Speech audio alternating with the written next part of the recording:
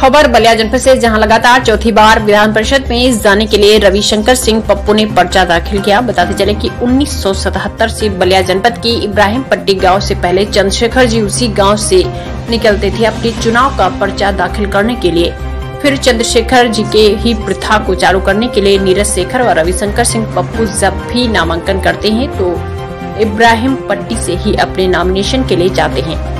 Media से बात करते हुए भाजपा प्रत्याशी रविशंकर सिंह पप्पू ने सपा उम्मीदवार को हवा हवाई बताते हुए अपनी जीत को पक्की बताया। सपा उम्मीदवार द्वारा पप्पू को दनबल के सहारे जीतने की कोशिश को भ्रम को जनबल से तोड़ने के बयान का जवाब देते हुए पप्पू ने कहा, सपा उम्मीदवार हवा हवाई आए हुए हैं। अगर मेरे पास जनबल नहीं होता तो लगातार तीन बार एमएलसी कैसे बनता?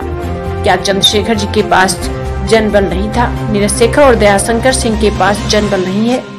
अरविंद गिरी पहले बलिया की भौगोलिक स्थिति को समझे। अगर अरविंद गिरी को जनपद के किसी कोने में छोड़ दिया जाए तो वो अपने घर पर नहीं पहुँच पाएँगे। घर का रास्ता भूल जाएँगे। सभा द्वारा इस चुनाव में एम वाई समीकरण को साधने के प्रयास पर टिप्पणी करते हुए कहा एमएलसी चुनाव में यह समीकरण लागू नहीं होता है। मेरे नामांकन जुलूस में कम से कम 50 मुस्लिम मतदाता और सैकड़ों की संख्या में हमारे यादव मतदाता शामिल रहे। इस चुनाव में भाजपा के सामने समाजवादी पार्टी कहीं टिक नहीं रही है। हमारी भारी मतों के साथ जीत हो रही है। मेरे साथ अधिकतर प्रधान बीडीसी डीडीसी और सभासद मतदाता है। मेरे संपर्क में जितने मतदाता हैं उनको मैं व्यक्तिगत रूप से जानना जानता पहचानता हूँ। कराया नहीं किया है।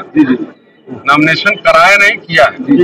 और 2022 में कोई सुबह नहीं है। हम लोग विजय श्री हासिल कर चुके हैं बस घोषणा बाकी।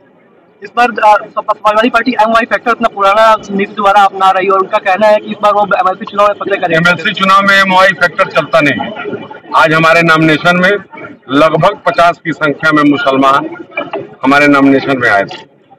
और यादव की तो संख्या पूछिए मत कितनी थी। जगह जगह पे सारे यादव लोगों ने मेरा स्वागत किया। एमएलसी के चुनाव में एम फैक्टर नहीं चलता। है जैसा कि लगातार तीन बार अभी रह चुके हैं चौथी बार आप नामांकन किया है। क्या विशेषता इस बार रहेगी आपके इस चुनाव अभियान में रहेगी कोई विशेषता नहीं है। भाजपा ने मुझे प्रत्याशी बनाया है और मैं विजयी हो रहा हूँ। जैसे कि अरविंद गिरी जो सपा के प्रत्याशी हैं उन्होंने कहा कि एक तरफ़ पप्पू जी यहाँ पर हैं हमारे प्रतिद्वंदी। तो उनके पास जनबल है, लेकिन मेरे पास जनबल है। क्या मानते हैं कि आपके पास जनबल नहीं है?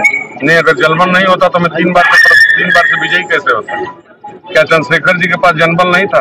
क्या नीरज शेखर के पास जनबल नहीं था? क्या दयाशंकर सिंह के पास जनबल नहीं था?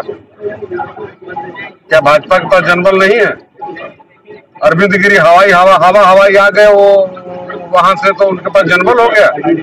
उनको भौगोलिक स्थिति बलिया की मालूम है? उनसे ये पूछिए। उनको भौगोलिक स्थिति पता है बलिया का?